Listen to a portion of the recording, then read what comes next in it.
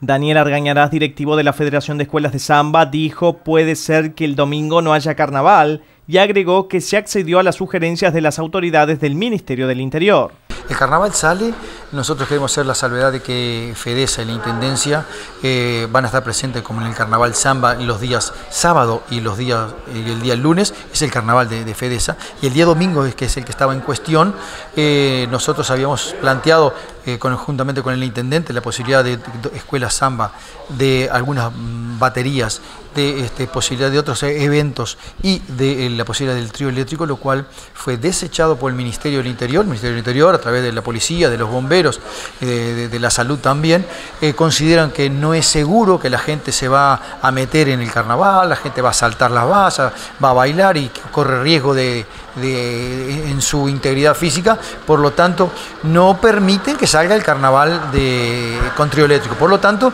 eh, no sé realmente qué va a pasar, ahora vamos a analizarlo nuevamente y en la noche tendremos otros análisis, pero eh, cabe la posibilidad de que el día domingo no haya carnaval en Artigas. Nosotros queríamos, la Intendencia quería, pero acatamos las, las, ordenanzas y las leyes y si la seguridad dice que no es viable, no se hará, pero no porque Fedesa no quiera. Nosotros vemos también y nos vemos un espejo que es eh, la fiesta de la primavera en Dolores, donde hay miles y miles de personas y, sale hace 55 años que hay un carnaval en, en Dolores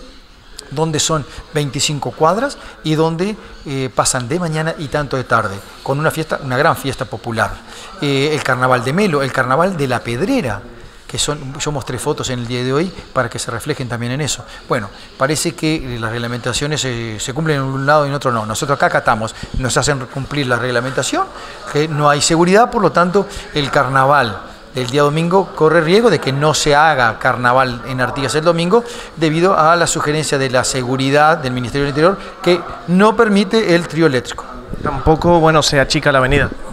tampoco se achica la avenida, Bomberos no, considera que es inviable, el año pasado este, sí se pudo, no pasó absolutamente nada, era viable, eh, bueno, Bomberos ahora plantea que no, este, y bueno, nosotros les hacemos caso porque nosotros no estamos por encima de la ley ni encima de las instituciones, simplemente queremos cada vez mejorar nuestro carnaval, pero este, plantean que no, y bueno, accedemos y no hay sillas VIP, no hay contacto y la interacción del turista con el con, este, con el vecino, con, el artista, con la gente que viene. Eh, esa silla se va a sacar por, por la seguridad y bueno, creo que hemos perdido en algunas cosas los turistas, los artiguenses, algunos aspectos lindos del carnaval eh, por ciertas reglamentaciones que se hacen cumplir en algunos lados, en otros no. Eh, y eh, me parece que se miden con diferentes reglas al carnaval de Artigas que a otras, en otros lugares. Y acá, lo mismo que en Artigas. Hay lugares, por ejemplo, que no tienen extintores, que no tienen habilitación de bomberos,